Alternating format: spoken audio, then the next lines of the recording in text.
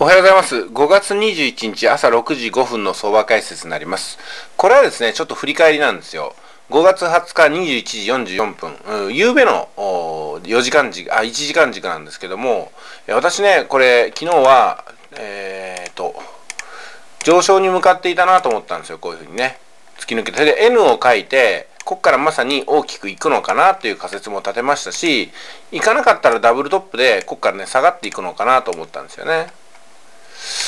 まあでもダブルトップはあんまり考えなかったんですけどね。随分このゾーンを割って下まで行っちゃいました。でこうなると今度はこっちに N を書く可能性も出てくるわけですよ。まあそれをね踏まえて夕べ、えー、チャートを閉じたわけなんですけども今朝朝起きてみるとどうなっているかってことでございます。ちょっと4時間見てみましょう。こんな感じですよね。ですねここの力点がありましたけどもここをですねこれ4時間ですけども力点を割って下の方に行っちゃいました。4時間軸なんですけどね。えー、ということで、上昇していくサインが出ていて、ここでね、N を出して、上の方にズバッと行くのかなと思ったんですけども、ちょっと N 作らずにね、下の方に行っちゃいましたね。うんということで、一旦頭を冷やさないといけないと思います。えー、デイリーの方を見てみます。ちょっと時間軸見方がバラバラなんですけど、すいません。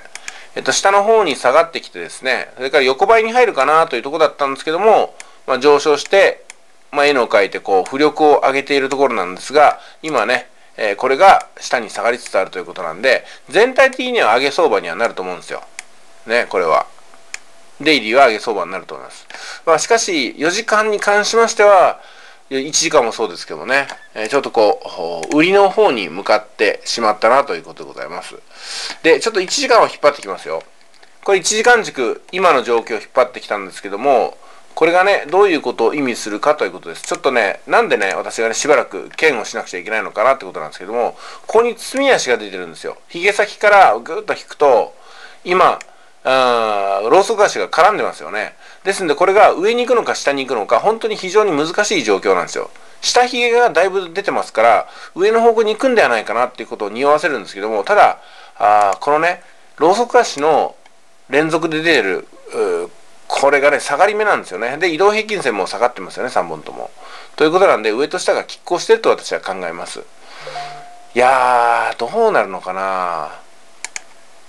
もう一つ考えられるのは、このひげ先もう一個つけると、ここでね、やっぱり反転してるところがありますから、ここも同じく、えー、これね、包み足が出てますよね。うん、ということなんで、今日は一日は、様子を見ていかないといけないですね。どっちの方向性にまとまるのかってことです。今はちょっと私分かんないですね。昨日までは強い確信めいたものがあって N 字を書くかなと思ったんですけども、N 字を書くと思ったものが書かなかった時、自分の仮説が崩れた時っていうのは、もう一回頭を整理してね、いや、自分の仮説が当たるはずだとか、ずっと思わない方がいいんですよ。あ、これは違ったなと負けを認めて、すぐに、えー、別の思考転換を図るというのが、傷を大きくしない私のね、やり方でございます。えー、ですんでね、また一から考えるっていうことをいつもいつも繰り返すようにしておりますね。えー、それでは、あ本日はこんなところですかね。ありがとうございました。